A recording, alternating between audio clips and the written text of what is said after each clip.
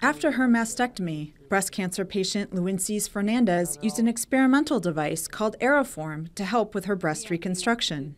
With two kids at home, that gave me, uh, I thought, would be more independence. Every year in the U.S., more than 100,000 women have a breast removed due to cancer. Replacing it often requires a tissue expander, a temporary pouch that's gradually enlarged with saline shots to make room for a permanent implant. It can be a painful process requiring many trips to the doctor over several months.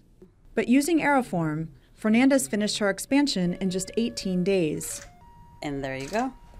It works by releasing small doses of compressed gas into the tissue expander.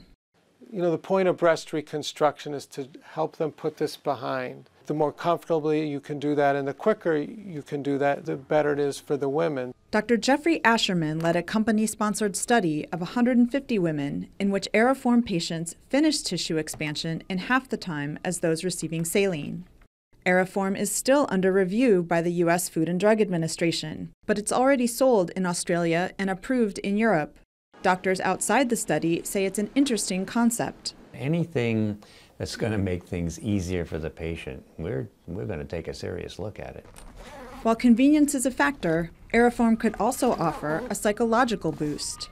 Experts say that's important because cancer can make patients feel powerless to know that I would not have to come to the doctor's office so many times and to be able to do it at home instead, that was something that I was uh, attracted to.